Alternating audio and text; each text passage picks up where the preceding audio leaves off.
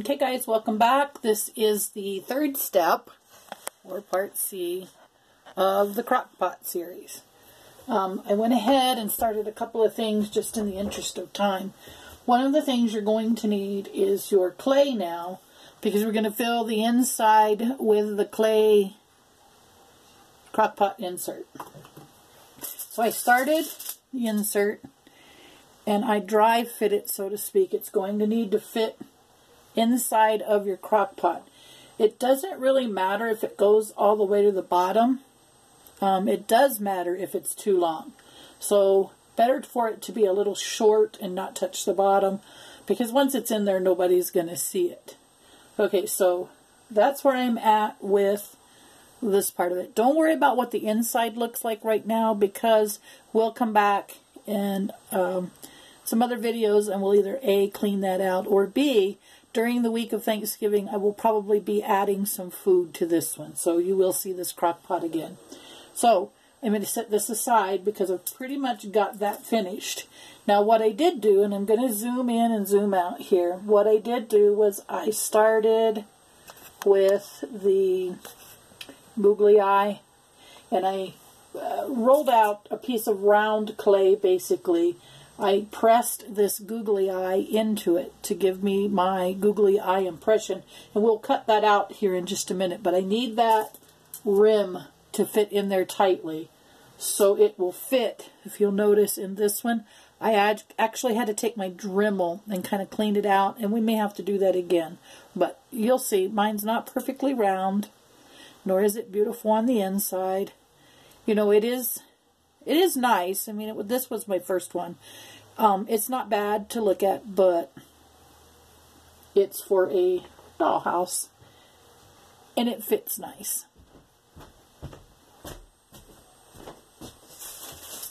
So we'll pry this googly eye up. I'm going to set this piece aside, and you can see maybe that impression in there. That's what we're getting ready to cut out. And you can see where I've cut out some of the outside edge and you can see a rudimentary set of crockpot handles. So again, we're going to notch this out. I don't know if I can get this zoomed in anymore or not. We're going to notch this out around that circle. It's a one inch circle. And I'm basically just notching the clay out as we go around.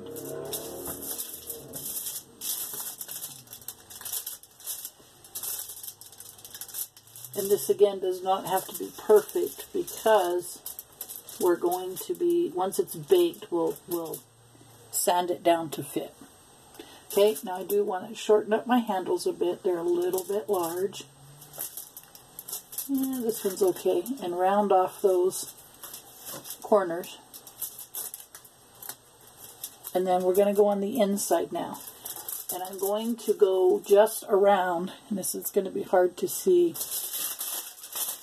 there is this dent. Whoops, I'll get you here. There is this, well, I'm finding a dent right here. And you can see it goes around the edge. What I'm going to do is I'm going to take a stylus and I'm going to go on the inside of this. I'll show you once it's done. See, you can see that indentation. Let me take my stylus and I'll show you what I'm going to do next.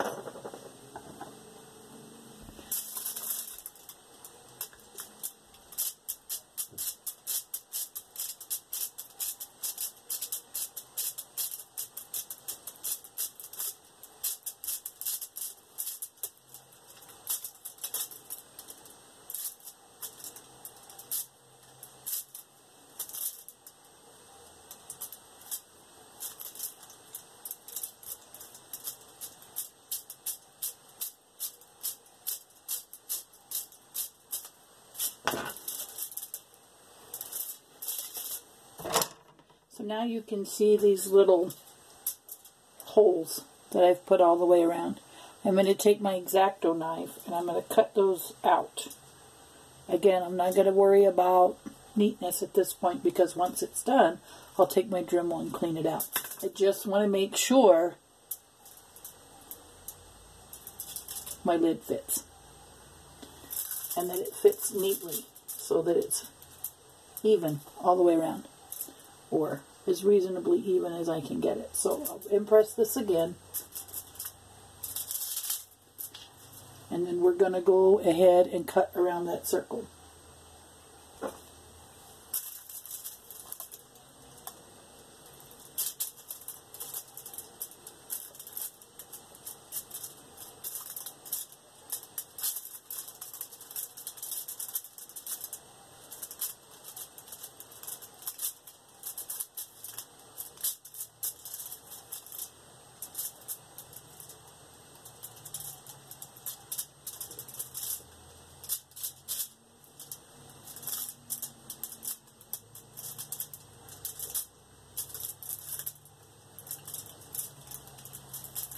Okay, guys.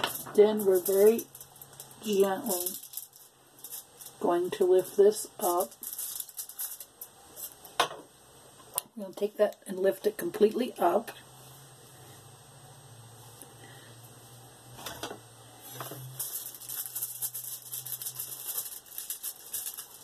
Just like so. Okay, and it looks really ugly, but truthfully, once it's finished, and you're going to gently, gently push this out, just like so.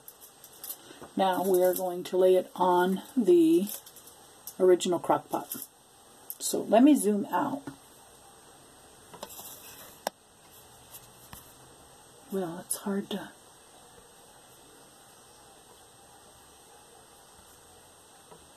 Okay, so at this point, we're going to take, I have no idea, guys, what's going on with my camera. Sorry about that. I don't want 3X. I want to come back down. There we go. Okay, so now we're going to very carefully attach this to the crock pot. And you'll see on the inside there is sort of that rim, okay?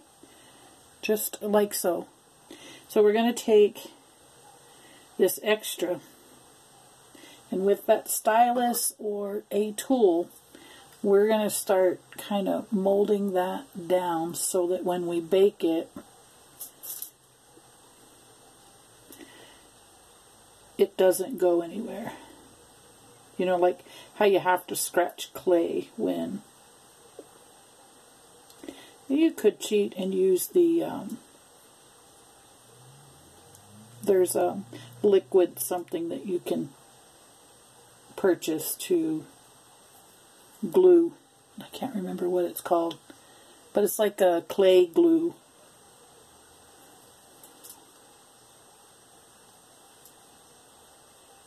So you'll get that all pushed down in there all the way around. And then again, like I said, don't worry because once we bake this, you're going to do the same thing on this edge. You're going to get these two to match up all the way around. And it does not have to be perfect. That's what's fun about the cleanup.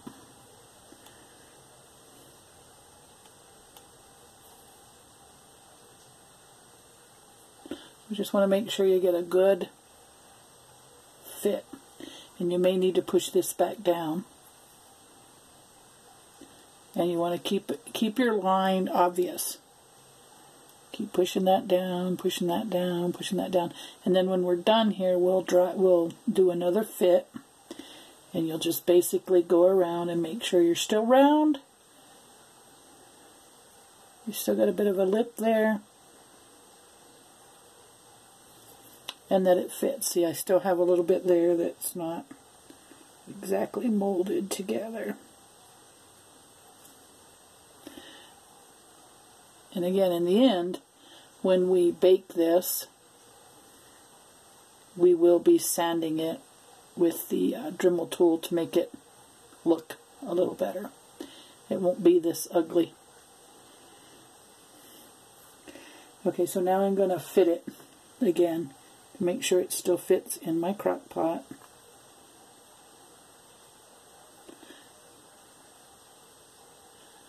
And then gently take that apart. And you're going to have this edge up here after you bake it. You're still going to have this edge, which is not a bad thing. Because like I said, we're going to use the Dremel and you'll make this more pronounced. Gonna look a little weird for a little bit, but in the end, it'll look really nice. So I think that might work. And see, like I said, it's not perfect, but we have ways of making it look nice. You could use something like this to give you that round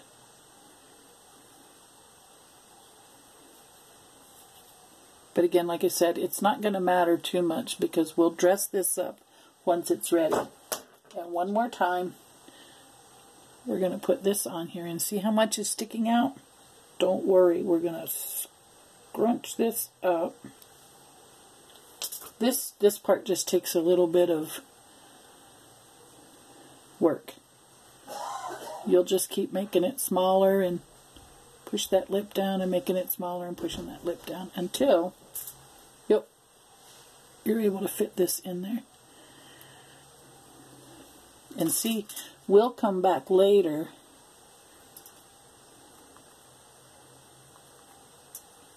and clean this up. So see how it kind of looks like it's pushed down in, and it really is, but later on, once it's done, we'll come back and clean it up.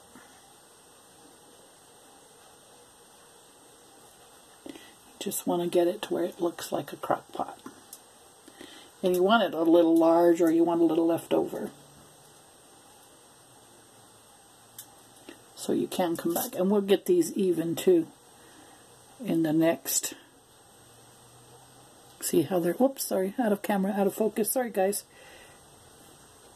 We'll just keep rolling that pinching, rolling, pinching, rolling, pinching until we get where it looks even. And here, see it's off. Just going to roll that and pinch, roll and pinch, roll and pinch until it looks the way we want it to. Pull that up, roll and pinch, roll and pinch. And we'll we'll work on leveling it up after it's been baked. Oops, well that was no fun. I'll have to come back and repair that. Okay, so you see you have your little ledge there. Now, you've got all of this balled up and ugly in there, but don't worry, like I said, we're going to come back later with an X-Acto or a Dremel, and we'll clean all of that, all of that mess out. Right now it looks like a plugged pipe, but it'll be fine. Okay, so bake this monstrosity, and when we come back, we will clean it up.